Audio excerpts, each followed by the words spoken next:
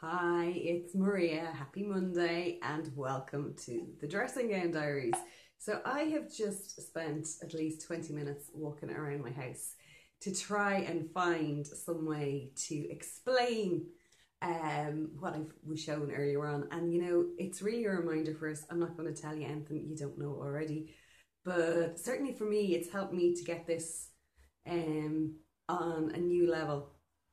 So basically, um, okay, if this is the experience that you are looking for in your life, um, and this is you, the human way that we normally do things, and it's so hardwired into us, is that we keep on like efforting and doing more things and adding more bits to ourselves. So this is just the Blu-Tack. Um, adding more bits to ourselves uh, to try and go after this because we think that you know we can get it and and then it's going to work. Um and it's a lot of effort and it doesn't always feel right and it doesn't always fit right when we get there. But really if this is you uh, i'm going to put this bit down for a second. This is us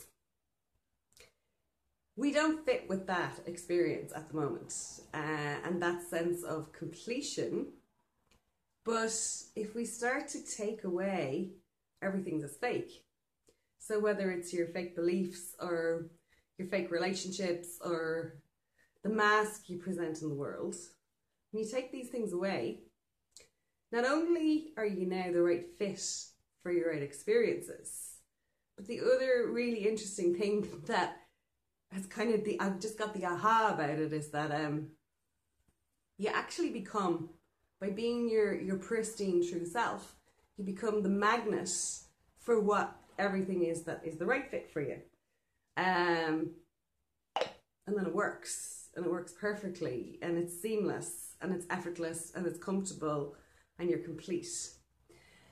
Um, and so, so that our journey now is really to identify these things, and you know we can know all this in theory, and again, this is something that's been going on for me over the weekend. I've been uh, working on feng shui in my house again. And so, like, I actually have my certification. I can go into somebody else's house and clear their house and give them all the remedies and get them to put them in place. But I'm not doing it for myself. And so I started in my bedroom, and it was really interesting because, you know, you're not supposed to have a picture by yourself in your bedroom, nor are you supposed to have pictures of your family in your bedroom. It should be couple type pictures if you're looking for a relationship.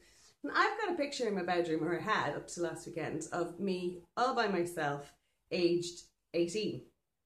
So obviously I'm stuck somewhere back there. Uh, so I took that picture out, and then as soon as I had that done, then I felt like cleaning and clearing and getting rid of a whole load of other things so it's amazing just by even moving one or two things in your space, how, you know, it starts to move the energy and then the energy works with you to clear things. Um, so my question to you is like, what do you know how to do um, in terms of applying tools and techniques to help you that, you know, to clear away anything that's not authentic? Um, so you can be more real and actually be open to all your right experiences because it goes back to two things that I'm always saying. One is real is the next big trend and you just can't fake it. And the other side of it is like, do you really want to wake up dead and realize, you know, you could have enjoyed life so much more if you were yourself.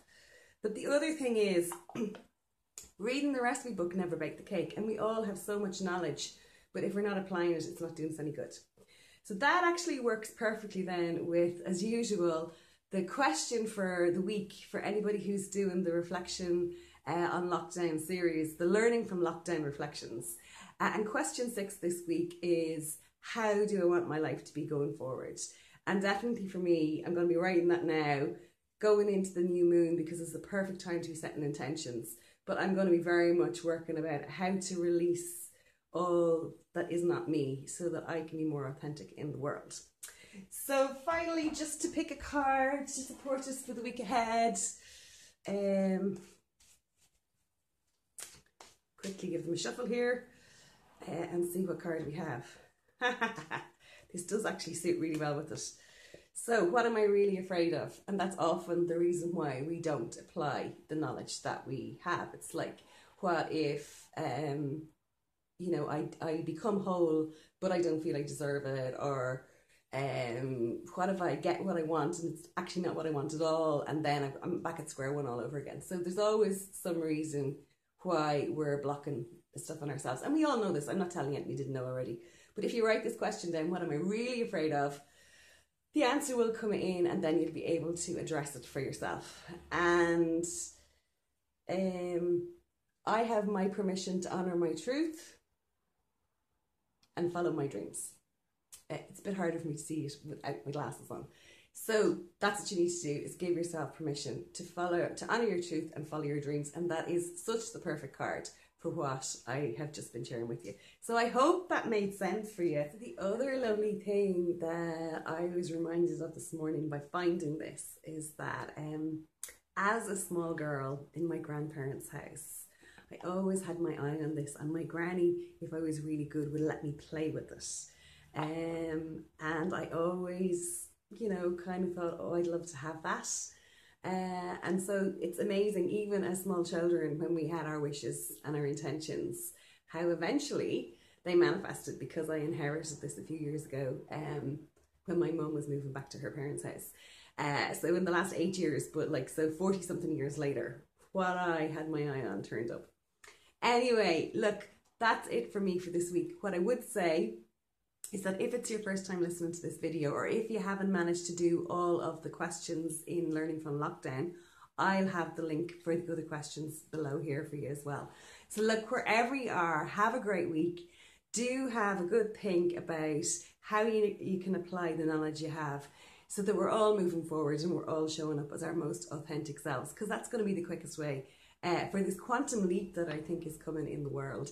So wherever you are, have a fantastic week and I look forward to seeing you in another video again soon. Take care. Bye.